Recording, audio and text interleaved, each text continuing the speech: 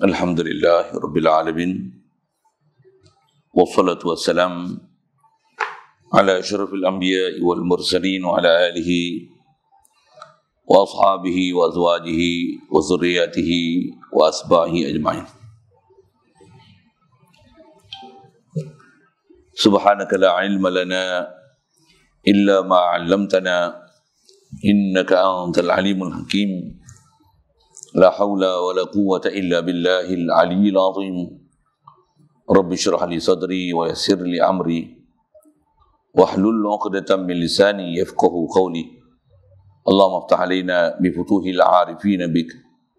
اللهم اجعلنا من الذين يستمعون القول فيتبعون أحسنه. اللهم علمنا مما جهلنا وانفعنا بما علمتنا وزدنا علما نافعا يا رب العالمين. ونعوذ بالله من شرور أنفسنا ومن سيئات أعمالنا.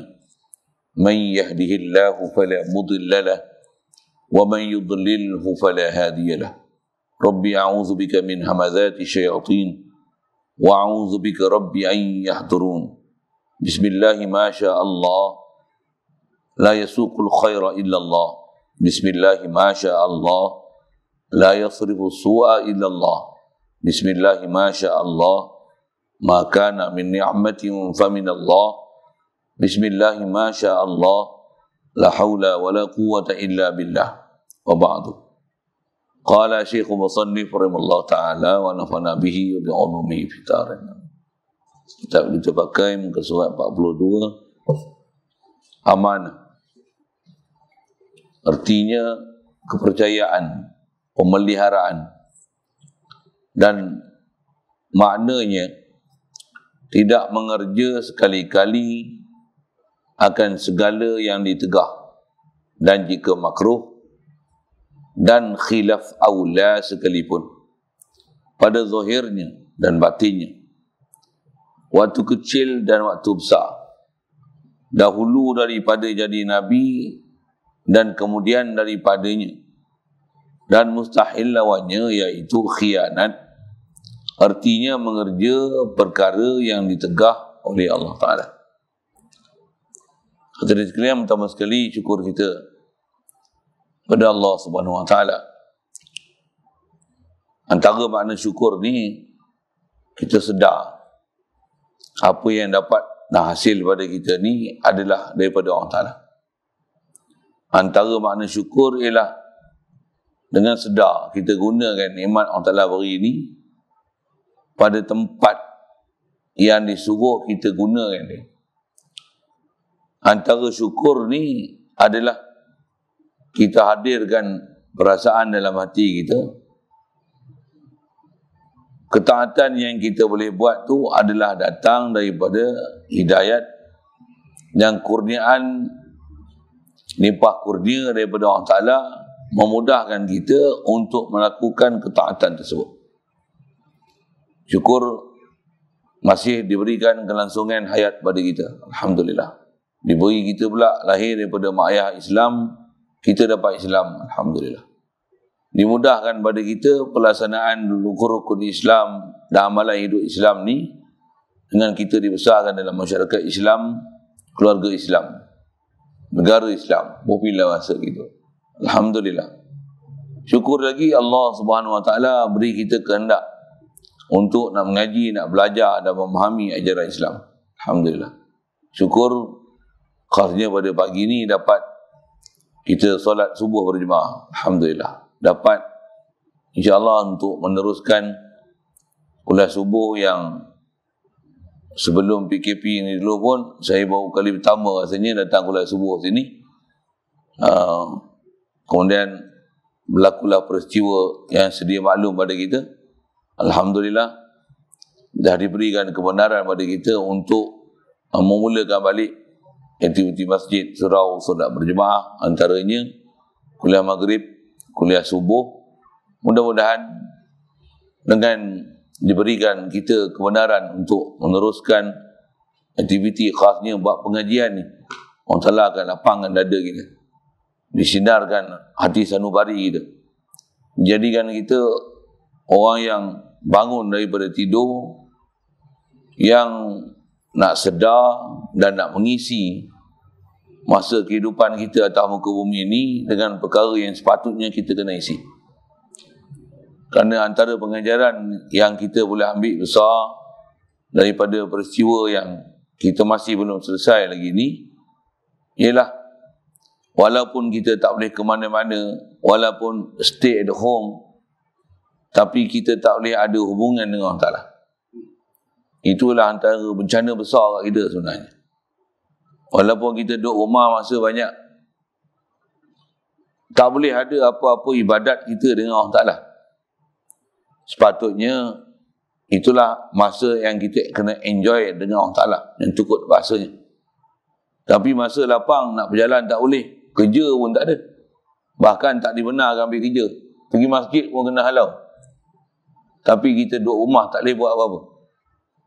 Kita tak boleh buat aktiviti yang sepatutnya itulah aktiviti kita bila kita berseorangan diri. Apa dia? Hadir hati dengan Allah Ta'ala, mulajat dengan Allah Ta'ala, puji dan puja dia. Kenal dia. Sentiasa tanzihkan dia pada sifat kekurangan, sentiasa memuji dia dengan sifat kesempurnaan dan sentiasa mengagung dan membesarkan dia dengan segala kurniaan.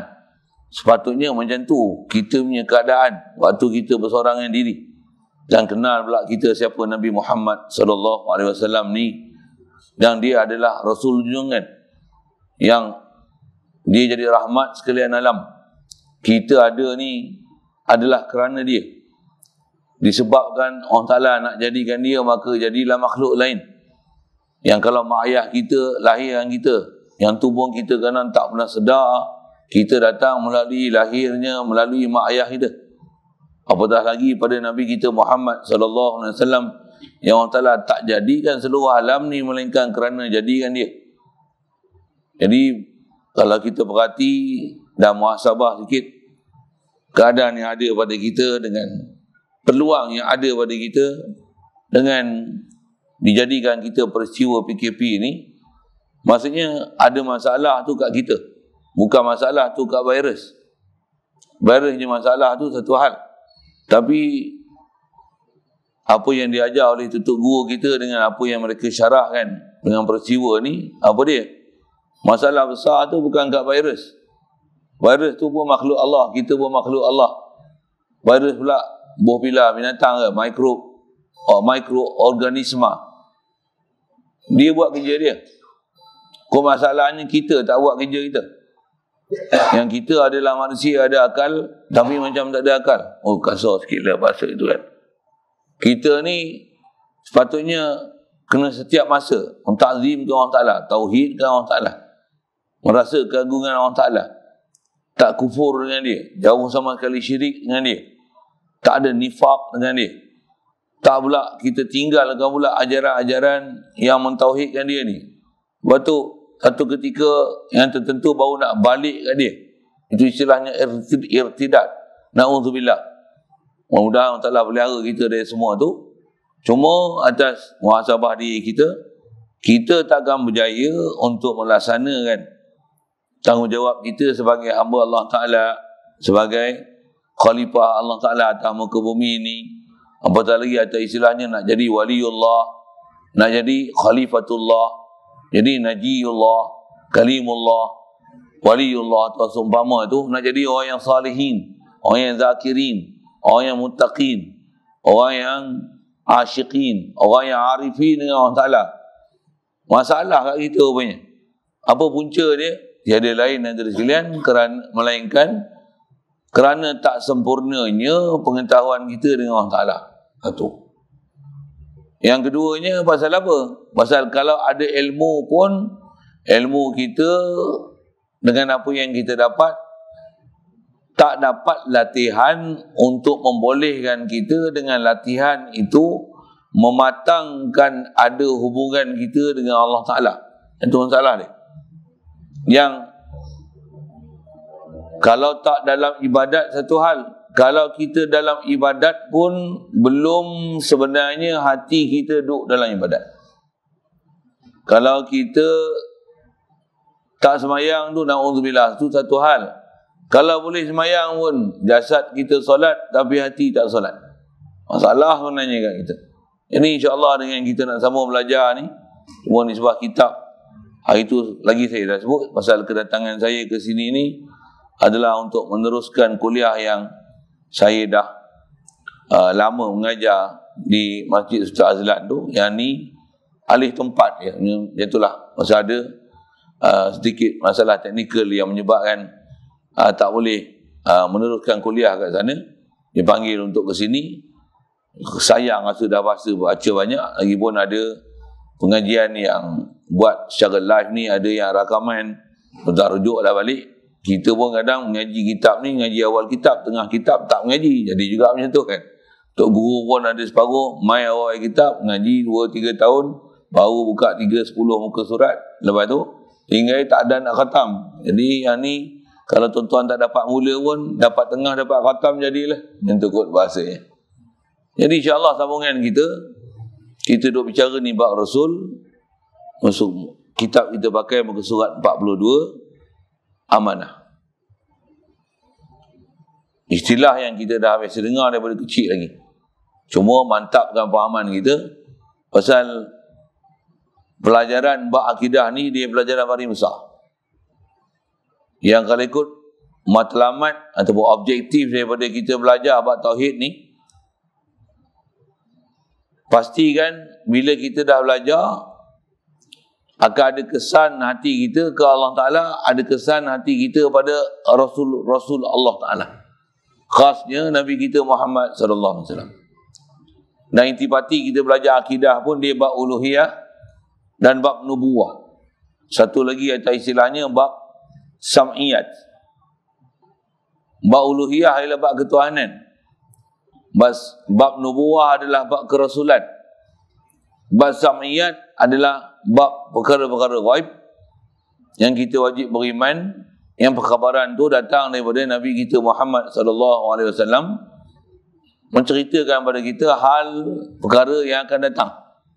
Peristiwa yang akan datang. Dan peristiwa yang kita ada ni pun adalah peristiwa akan datang yang Rasulullah cerita siap dah. Apatah lagi peristiwa akan datang tu nisbah hidup kat dunia. Apatah lagi peristiwa akan datang tu bak mati. Apa yang ada dalam alam barzakh. Batu dibangkitkan semula di mahsyar. Kehidupan di mahsyar. Apa dia? Itu adalah pelajaran kita belajar dalam bak akidah. Dan pelajaran tu ada general knowledge yang kita dah faham. Cuma, adakah kita duduk hidup seharian ni dengan ada akidah kita ke Allah, ada akidah kita ke Rasulullah, ada dan hidup hati sanubari kita kepada perkara sam'iyat tersebut. Besar sekali perkara sam'iyat kita dengan Allah Ta'ala itu sendiri. Adakah memang kita yakin Allah wujud? Walaupun mata tak nampak. Kalau nak banding itu, khasnya dengan peristiwa kita ni, yakin kita coronavirus terwujud dengan yakin wujud Allah Ta'ala tak kena gaya kita ni, yakin kat virus tu kuat lagi. Daripada yakinnya kita kepada wujudnya Allah Ta'ala. Bahkan, Allah Ta'ala ni bukan saja dia wujud. Dialah yang mewujudkan kita. Coronavirus tu Yakin kita wujud dan kita yakin dengan ada dia itu menyebabkan jadi mudarat kat kita. Allah Ta'ala ni dia bukan bagi mudarat. Bahkan dia bagi mudarat dan manfaat. Bahkan dialah yang mewujudkan kita. Kita tak ada, dia bagi ada. Dan coronavirus tu pun Allah yang bagi ada. Kira ada pelajaran tauhid besar kat situ. Ada pelajaran yang sepatutnya kita ni kalau dah faham perjalanan agama ni ilmu kita yang mantap yang kita belajar dengan akidah yang guru kita ajar sepatutnya apa saja peristiwa semua boleh bawa kita balik ke Allah Ta'ala patutnya boleh tapi kita ni di atas kedangkalan kita punya ilmu bila kita belajar pun tak bersungguh didikan dan terbiah yang kita terima daripada Tok Guru pun kita tak ambil dengan ada ilmu yang sempurna, tarbiyah, asuhan, kita pun jangan kata hak besar-besar, baca Quran pun teruk. Tambah PKP ni, berapa kali khatam Quran? Masa nak khatam Quran tu ada tak? Ada tak? Tak ada kot. Tuan-tuan sibuk sangat masa PKP kot. Kan? Berbuat rumah, cuci parit, itu. Ada tak masa untuk khatam Quran? Quran pun tak baca. Nak baca pun tak boleh. Nak baca pun dia. Kalau baca boleh pun tak mau baca. Perasaan nak baca tu tak ada. Tak ada semangat langsung nak baca. Tak ada kehendak nak baca. Zikir. Bukan bayar pun. Subhanallah. Alhamdulillah. Allahu Akbar. Tak ada semangat nak zikir. Tak ada hati nak zikir. Selawat. Allahumma salli wa sallim ala Sayyidina Muhammad. Tak ada perasaan pun nak selawat. Apa masalah ni? Tak ada masalah lain. Melainkan hmm, tak ada ilmu kita yang mendorong untuk ke Allah Ta'ala. Tak ada ilmu kita untuk mendorong untuk berselawat atas Nabi SAW. Tak ada. Ni apa kejadian yang berlaku tu kalau boleh menyedarkan kita alhamdulillah. Betul nak buat apa? Wajib taubat. Yang lepas itu sudah ada betul nak buat apa? Ha, saya nak gunakan bahasa yang demo sebut dalam PKP ni apa? Kita mulakan norma hidup yang baru. Bukan penjarakan sosial. Tapi apa? Datang majlis ilmu. Ngaji bersungguh-sungguh. Mujahadah lawan nafsu lawan syaitan macam mana nak bersungguh mencari ilmu, nak cari guru yang boleh membawa kita kejayaan untuk di akhirat esok dan boleh pimpin kita kat dunia ni macam mana nak melalui macam mana perintah Allah Ta'ala dan Rasul. Boleh berjalan atas diri kita. Hidup kita ni betul-betul itibak Nabi SAW zahir batin kita. Ha. Jadi kita kena ada norma hidup yang baru yang bentuk macam tu. Ni masjid buka, surau dah buka, orang tak datang. Oh, masa tak boleh datang tu, kadang tengok macam gedik-gedik nak datang, sikitlah ayat-ayat macam tu untuk bongkar balik. Jadi apa masalah kita ni? Ha, kita kena permain dengan nafsu kita. Masa tutup masjid surau, gedik-gedik nak datang. Bila dah buka, datanglah sekali dua, lepas tu tak datang lah. Masa tak ada majlis ilmu, nak ada majlis ilmu. Bila ada majlis ilmu, tak datang majlis ilmu. Datang majlis ilmu, tidur pula. Oh, lah. So, semua tu uh, tazkirah je lah. Ilmu itu sini. Jadi pelajaran kita nak terima ni, seterusnya nak faham, atas kita dah sebut topik tadi, amanah. Asal terjemah, kepercayaan. Maksud dia atau bahasa lain disebut oleh para ulama, maksud amanah tu ialah ismah. Apa bahasa dia terjemah ismah ni bahasa lain yang kita dah pakai maksum. Jadi antara sifat Nabi Rasul wajib pada mereka sidik amanah, tabligh, fatana. Jadi bila amanah ni sifat Nabi Rasul, apa makna amanah? Dengan makna maksum.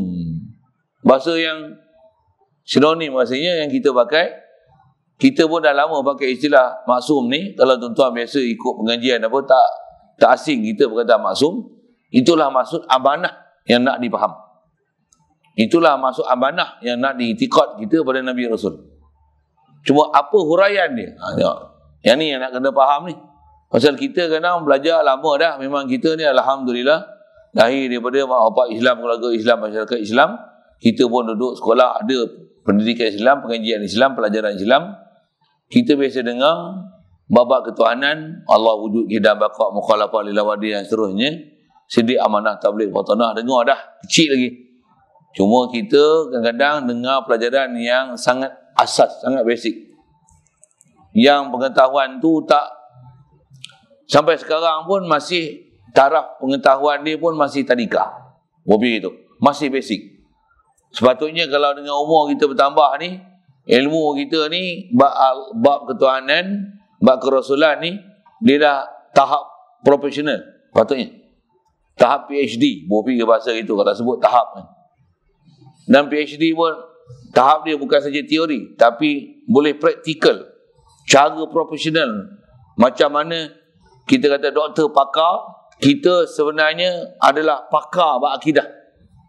Pakar dalam bab ketuhanan, pakar dalam bab kerasulan. Berlaku je peristiwa kena kurung dalam rumah. Jadi macam mana Nabi? Nabi Yusuf kena kurung. Dalam penjara. Tak ada masalah Nabi Yusuf kena penjara. Memang tengok penjara tu memenatkan. Tapi duduk dalam penjara, dia duduk dalam penjara, dia tak bermasalah. Orang dalam penjara yang bermasalah, semua hilang masalah jadi wali. Huh. Boleh? Faham saya sebut apa? Nabi Yunus dipenjarakan dalam perut ikan. Tak ada masalah pada dia. Masa untuk dia bersuluk dengan Allah Ta'ala. La ilaha illa anta. Subhanaka inni kuntu minal zalimin.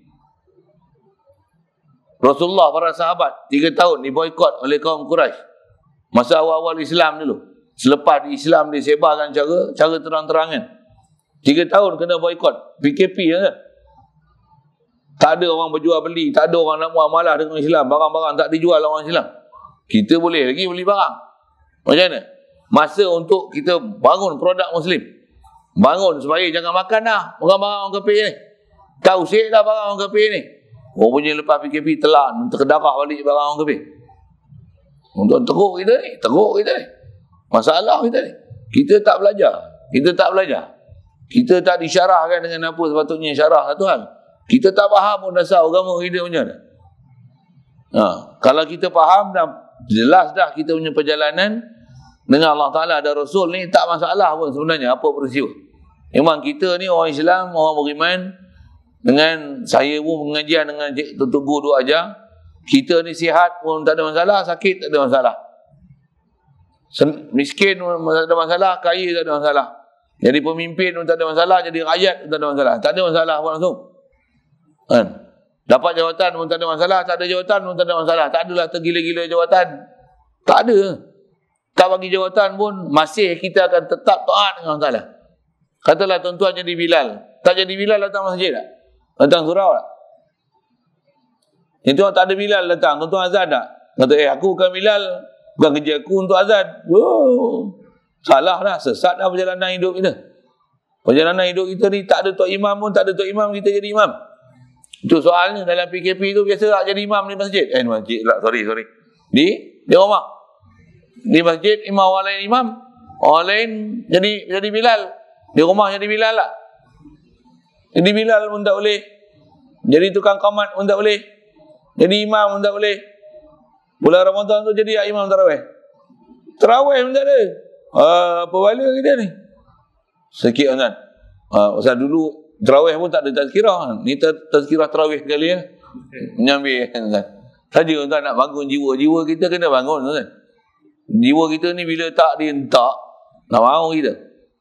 Tuan-tuan bila kena sakit baru tengadah gitu kan. Terantuk, oh Allah, sakitnya. Ha. Bukan nak tujuan nak bagi sakit, tuan-tuan. Nabi nak bagi sedar. Jadi, atas kita bicara ni, apa makna amanah tu? Apa makna ismah tu? Apa makna maksum ni? Ha, macam ni. Maknanya, inilah huraian yang kita nak upgrade ilmu. Baru kita kenal siapa Nabi Rasul, baru kita ada hati dengan Nabi Rasul. Macam Nabi Rasul ni, kita mesti letakkan dia satu tempat yang sepatutnya kena letak Nabi Rasul. Dia memang makhluk Allah. Dia ialah Rasulullah. Dia adalah Nabi Allah. Memberi maklumat daripada Allah Ta'ala. Wajib intikad mereka ni insan mulia. Kedudukan mereka jauh beza dengan kita. Nak banding Rasul dengan umat Allah. Jauh tuan-tuan, jauh. Kita dengan guru kita pun jauh. Kita dengan mak ayah kita pun jauh. Apatah lagi kita dengan Nabi. Apatah lagi dengan Rasul. Apatah lagi ulul azmi. Apatah lagi kita dengan Nabi Muhammad sallallahu alaihi wasallam.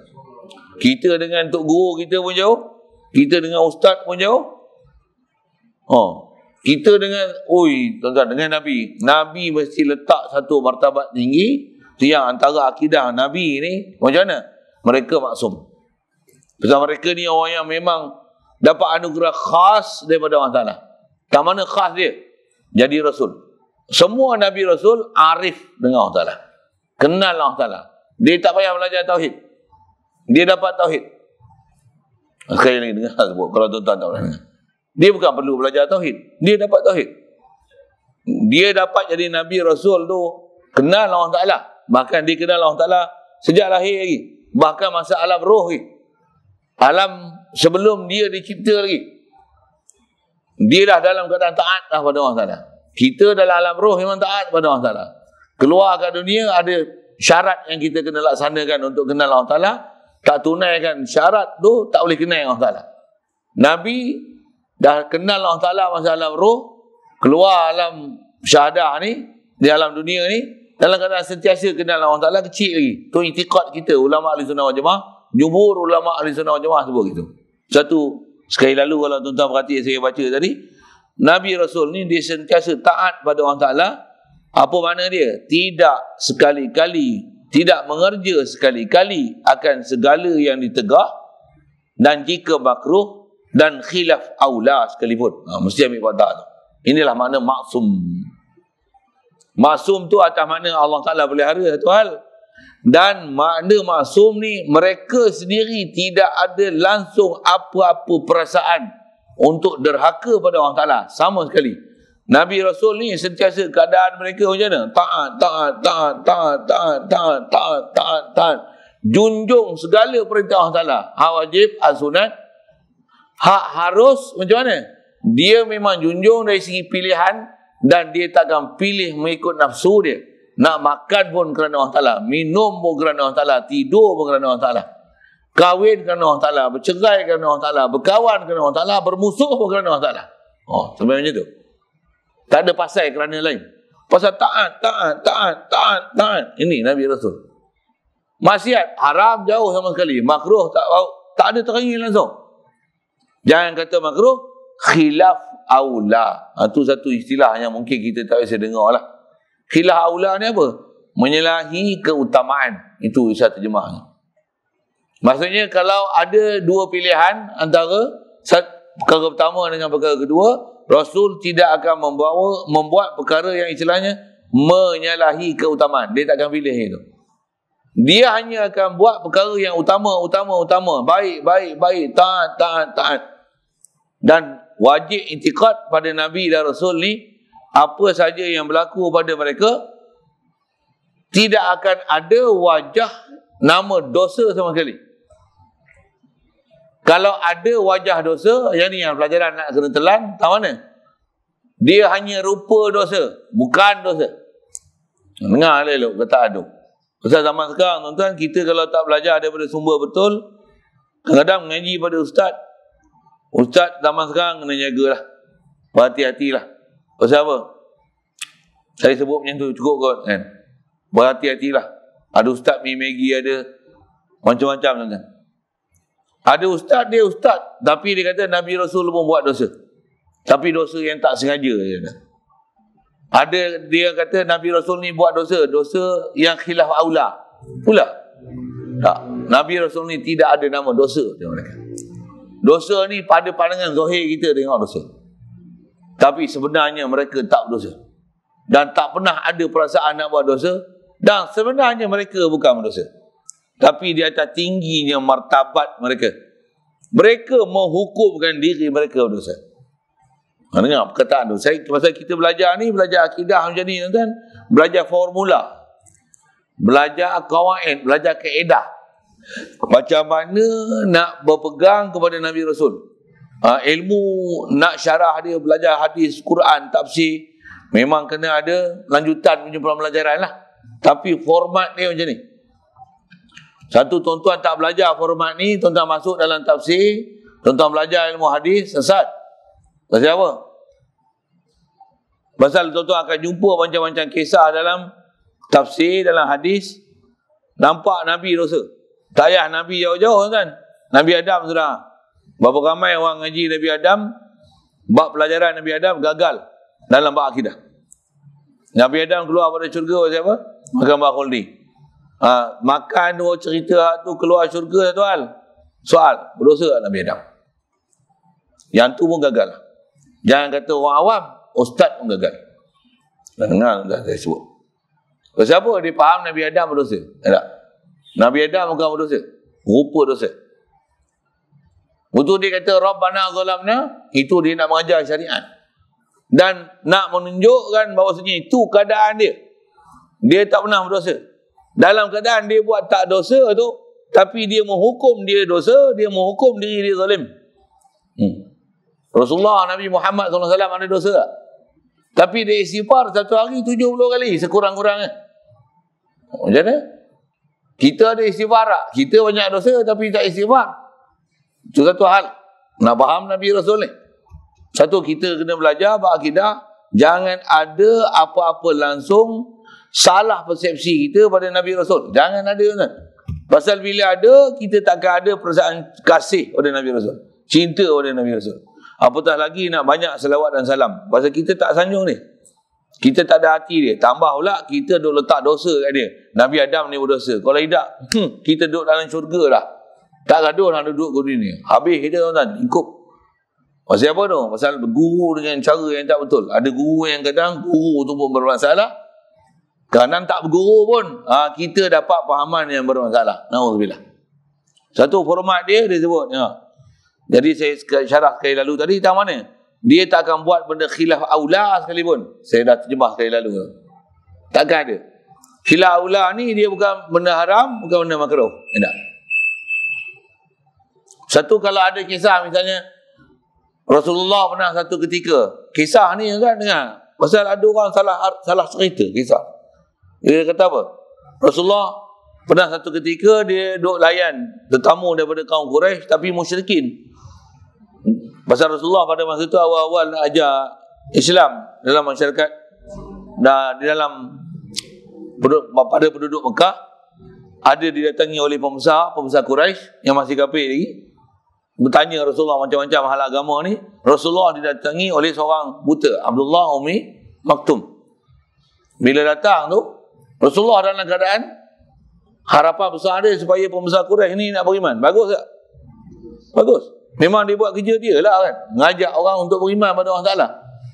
Orang ni memang beriman dah. Cuma dia datang ni memang buta lah tu. Orang buta dia bukan kenal siapa ada depan dia apa-apa kan.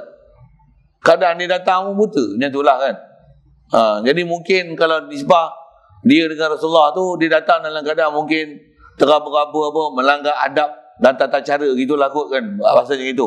Jadi kedatangan dia tak disengan, disenangi oleh Rasulullah. Kerana pada Rasulullah dia sedang menjalankan tugas dia untuk mengajak orang kafir ini masuk Islam, kedatangan tu bakal mengganggu. Dia akan ada interruption. Yang tu kan. Untuk ada konsentrasi daripada pihak sana menerima dakwah dia dalam nak mengajak orang ni masuk Islam. Kan? Jadi bermuka masam sikitlah kan. Berdosa ke Rasulullah? Subhanallah. Ha, satu, kena jaga, kena faham, belajar. Contoh belajar dengan Tok Guru tak betul, tak betul lah tu. Kita apa? Nabi Muhammad masa muka, memang dia masa muka. Tapi di masa muka bukan benci pada Abdullah bin Maktum tu. Tapi pasal pada dia, yang ni keutamaan. Dan memang dia dah pilih utama dah pada dia. dia pada dia yang ni utama. Tapi ditegur oleh Allah Ta'ala. Pasal Allah Ta'ala tahu siapa sebenarnya datang untuk memang nak ambil agama. Siapa yang sebenarnya datang untuk tak ambil agama. Ha. Jadi ditegur tegur oleh Rasulullah, tegur dari sudut mana? Sepatutnya keutamaan bagi kat sini. Rasulullah memang dia dah buat kerja dia.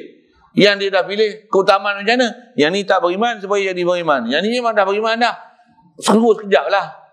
Ha, satu, dia gaduh nak suruh Rasulullah ajar dia apa wahyu apa lagi datang. Muka masam sikit lah. Datang wahyu, tegur. Rasulullah tindakan itu abasa wa tawallah. Ha, masyur kalau tuan-tuan tak bisa dengar kisah tu satu hal lah. Tapi adakah Rasulullah buat gitu? Istilahnya dia telah menyalahi aula? Oh, tidak. Tidak. Cuma nisbah Allah yang dia tahu zahir dan batin. Dia tahu manusia yang datang tu siapa yang sebenarnya nak mencari yang hak.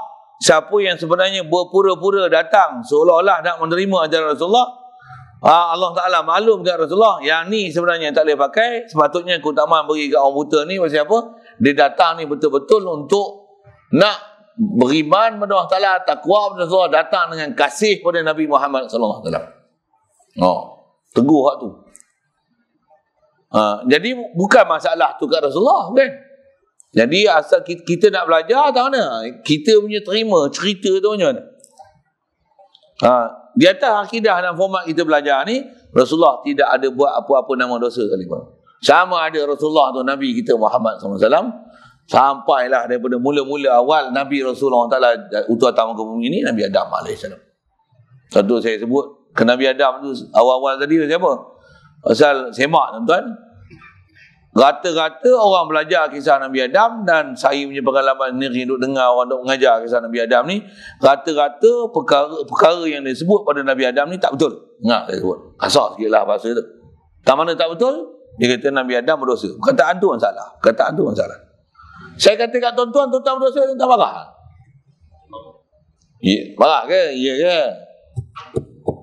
Benar tak tuan-tuan berdosa? Ke saya je buat fitnah tuan-tuan berdosa? Tuan-tuan kata Nabi Adam berdosa salah. Rasa tak bersalah. Ni. Nabi Adam berdosa makan buah kulti. Yang kita makan tak tak kira. Ha, sampai tak peduli. tak ada rasa apa pun. Tak rasa berdosa pun. Makan yang yang makan yang tofu tu tak ada masalah. Tapi yang buat dia cakok tiaw, yang buat dia tu yang taufu, yang buat dia tu watak tahu. Tuan tak faham bahasa saya satu ayat lah kan. Faham kot kan? Kata yang buat tu kapil laknatullah. Makan kicap-kicap Iqbal. Wih, nama sedap Iqbal. Rupanya hilang kapio. Ha. Pau Ahmad ingatkah Mak Rudi ni? Apa tak, tak tahulah. Saya nak sebut buat misal tu. Kita tak rasa bersalah. Rasa Nabi Adam yang bersalah. Makan Nabi Adam tu bersalah. Kita punya makan hari bismillah pun tak ada. Sebut bismillah pun tak hadir hati ke Allah Taala. Tak rasa bersalah pun. Yang kita salah kan Nabi Adam. Nabi Adam salah makan buah khuldi. Apa benda kita eh? Apa pelajaran akidah kita belajar? Mana akidah kita kat Nabi Rasul? Walaupun seawal itu belajar apa akidah, gagal kita. Satu kita tak boleh ada hubungan dengan Allah Taala, tak ada hubungan dengan Rasul. Tak ada perasaan kat Rasul. Nabi Adam berdosa. Habis ya kita. Gagal lah. Kita letakkan Nabi Adam, orang yang Nabi Rasul ni, yang kita boleh pelekehkan dia, kita pandang kecil ya kan dia, siapa? Dia berdosa. Dia makan makan kulit. Habis hari dah. Habis ya. Sepatutnya letak kita ni, Nabi Adam bukan dosa pun. Boleh kena halau daripada syurga. Aku ni hari-hari makan, tambah duk makan hak Cina, kapiak, buah lah. Minum pun kopi-kopi tiam. Buah contoh, contoh saya sebut misal tu. Minum kopi, kopi Starbucks. Hmm. Tak ada rasa apa-apa pun, relax je.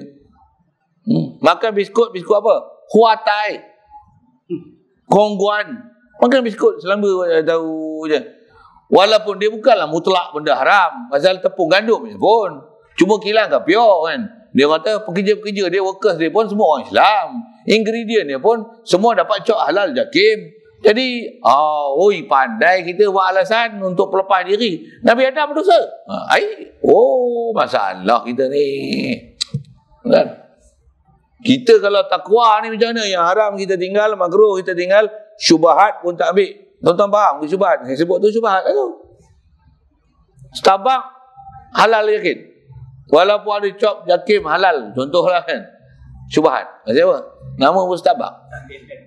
Tengok dia punya lambang pun padan tak? Lambang Starbucks nama apa? Lambang bulan dan bintang. Eh, mi cap bulan bintang pun tuan-tuan tak boleh harap. Baik gambar udang nak apa? Kipas. Contoh lah kipas udang. Saja saya buat melawak bodoh tu menyambil tu, sorry. Ha. Bihun cap masjid tak boleh makan. Oh, bayang tuan Cap jangan kira. Ni bukan cap masjid. Ni cap Starbucks. Hmm. Tulisan pun tulisan cing cing cing cing cing cing cing cing. Ha. Contohlah. Tak ada rasa apa-apa makan. Yang duk rasa Nabi Adam salah makan buah kundi. Oh, besar. Ha. Satu saya ada satu video. Dulu bising lah video tu kan. Ada seorang ustaz tu dia komen saya. Ha. Dia nak komen nak betulkan saya. Saya cerita Nabi Adam tu. Dia komen saya dia orang salah.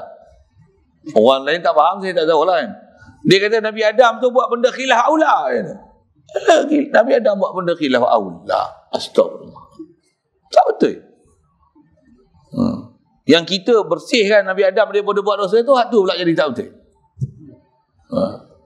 Soal pelajaran tuan-tuan, kelahi bertumbuk tu satu eh. Tapi apa kita belajar akidah tu, oh, tuan-tuan mesti berguru dengan guru betul. Baik. Dengar ayat lagi disebut. Jadi takkan ada benda yang nama haram, ada nama makruh, nama khilaf aula pada zahir dan batin. Hmm. Pasal apa pada zahir batin tak ada? Pasal batin dia kenal sungguh siapa Allah Ta'ala. Satu ada Rasul lalai ada. Ada tak lalai? Subhanallah. Tak ada Nabi Rasul lalai. Kalau lalai pun dengar.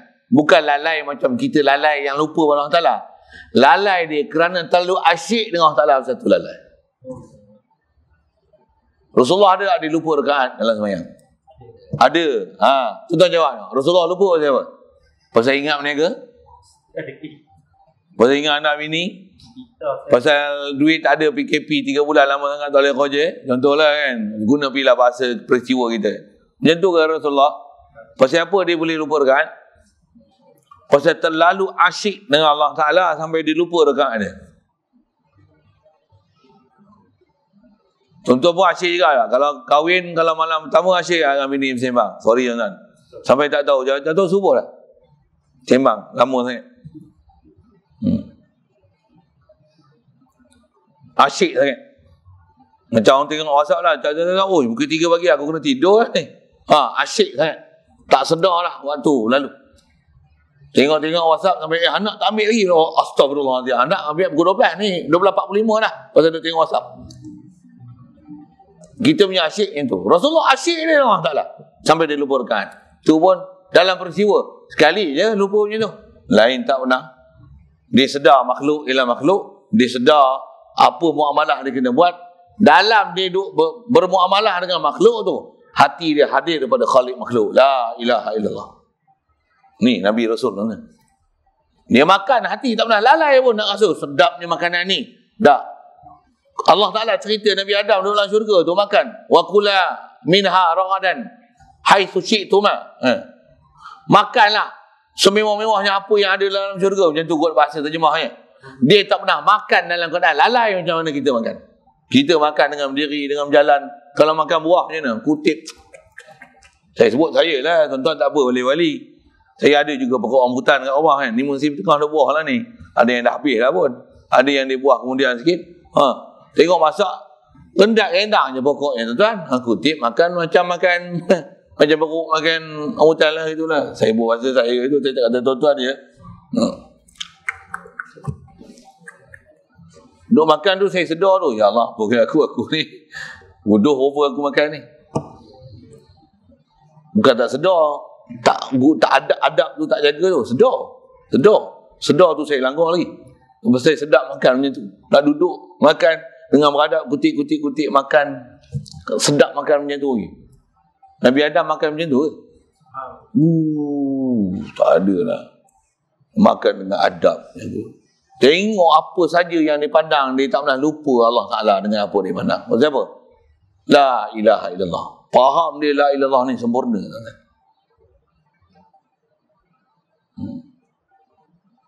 Sejarah tu lagi banyak panjang sangat kan. Tapi nak kata dia tak pernah ada masalah zahir dan batin.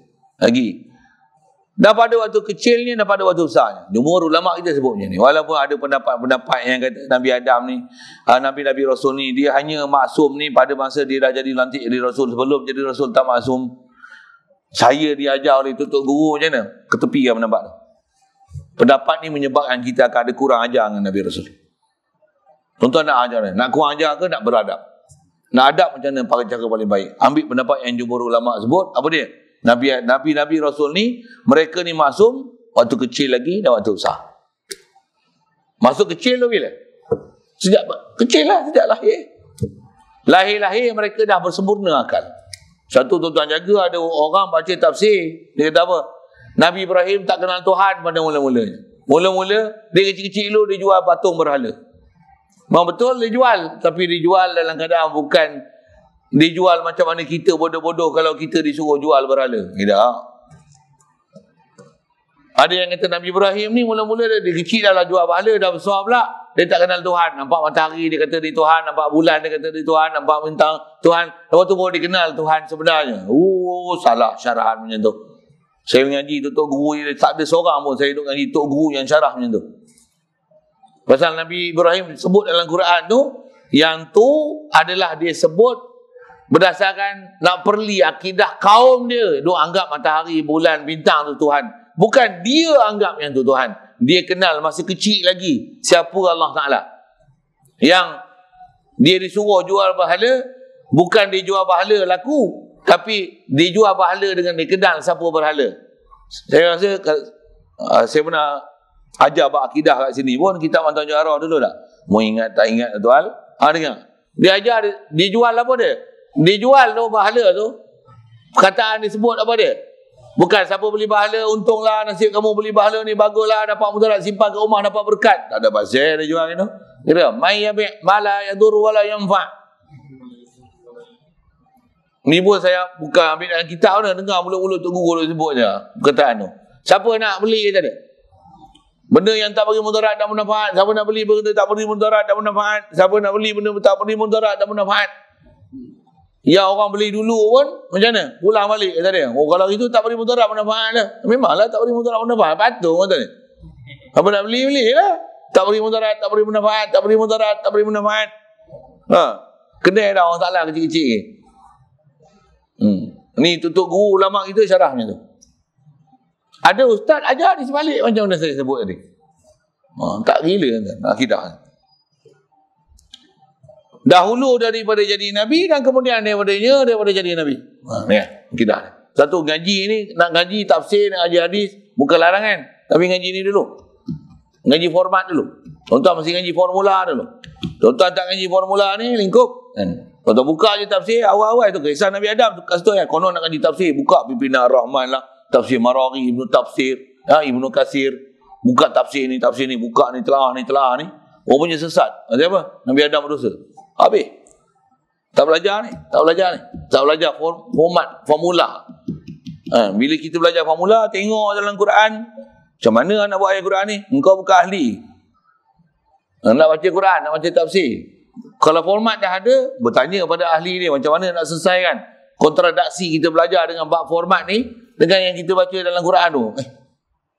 Ha, jangan kata Nabi Adam. Tuan-tuan silap-silap Nabi, Nabi Muhammad pun tuan-tuan kata Nabi Muhammad salah, sesat. Bahkan bukan berdosa, sesat terus. Dalam Quran sebut, apa saya ada orang-orang PhD ajar itu, dia kata, wawajadaka dhallan fahada.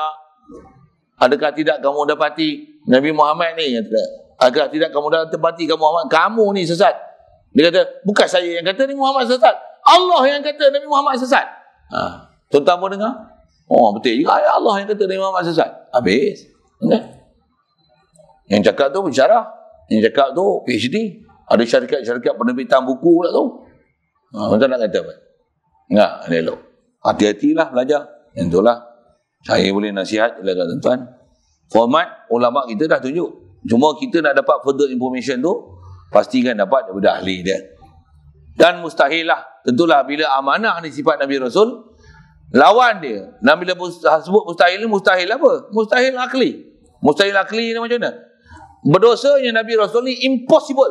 Oh, yang turut bahasa orang putih dia tegak. Impossible. Bukan possibly uh, our prophet uh, Muhammad sallallahu alaihi wasallam uh, macam itulah juga the same thing as our the uh, eh nak cukup orang putih tak ada. uh, Adam alaihi salam contohnya Nabi Adam alaihi salam uh, pro- probably uh, barangkalinya ataupun uh, possibly he can do mistake lah. Why? Why? He also said he is also a human being. Ana basyarum mislukum. Ha, dia pakai ayat Quran tuan syarah. Tuan nak pakai apa? Nabi Rasul pun kata ana basyarum mislukum. Jadi tak tak mungkin mereka untuk tak bukan benda mustahil untuk mereka pun melakukan kesalahan pasal mereka pun mengaku ana basyarum mislukum. Ha, dengar elok. Dengar elok. Dengar elok. Dia pakai ayat Quran syarah. Tapi ayat Quran yang disyarah tu sesat tak betul dengan sebab ayat Quran tu sesat ha, ya kan? hmm. mustahil khianat jadi anak basyarum mislukum tu yang tu bukan nak cerita keberangkalian Nabi Rasul sesat bukan anak basyarum mislukum tu apa aku manusia orang manusia hang berkahwin aku berkahwin hang makan aku makan hang sakit aku sakit ha Ha, ada anak isteri, aku ada anak isteri. Ada yang kematian isteri, ada kematian anak. Aku pun kematian isteri, makan anak. Ada isteri tak ikut aku, ada anak tak ikut aku. Aku siapa je. Anak isteri aku tak ikut aku. Tapi aku ni ikut Allah Ta'ala. Tu anak baca rumis lukum. Yuha ilayya. Tu masuk yuha, yuha ilayya tu. Diwahyu pada aku. Aku dapat wahyu. Maksudnya aku arif dengan Allah Ta'ala ni awal lagi. Ha. Saya belajar ajar akidah ni, saya baran sikit. No, memang, tak. Dia tegas dengan nak buat akidah ni. Pasal kesilapan kita buat akidah ni menyebabkan kita akan jadi apa? Itu je. Pasal kita tak ada akidah dengan Nabi Rasul. Kita anggap Nabi Rasul ni, alah, itu je. Baik, jadi mustahil, impossible. Mereka akan berlaku khianat. Sama ada zahir batin. Sama ada uh, masa kecil atau besar. Sama ada sebelum jadi Nabi, selepas jadi Nabi. Mustahil. Ha. Itu atas jumhur.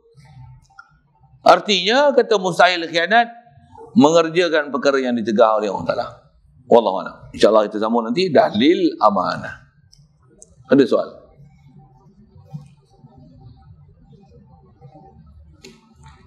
بسم الله الرحمن الرحيم اللهم نور قلوبنا من نور هدايتك كما نورت الأرض ومن شمسك ونن ابدا برحمتك يا ارحم الراحمين وارزقنا فهم النبيين وحفظ المرسلين والهام الملائكه المقربين وسلم تسليما على جميع الانبياء والمرسلين والحمد لله